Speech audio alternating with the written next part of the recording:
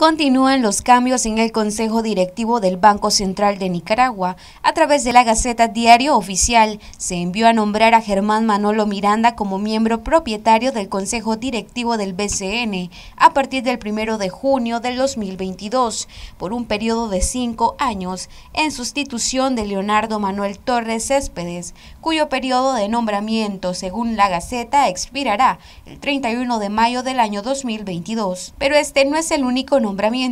En la misma Gaceta, en el Acuerdo Presidencial 59-2022, se nombró al señor Francisco José Quiñones Murphy como miembro propietario del Consejo Directivo del BCN por un periodo de cinco años, de conformidad a lo establecido en el artículo 15 de la Ley 732, Ley Orgánica del Banco Central de Nicaragua.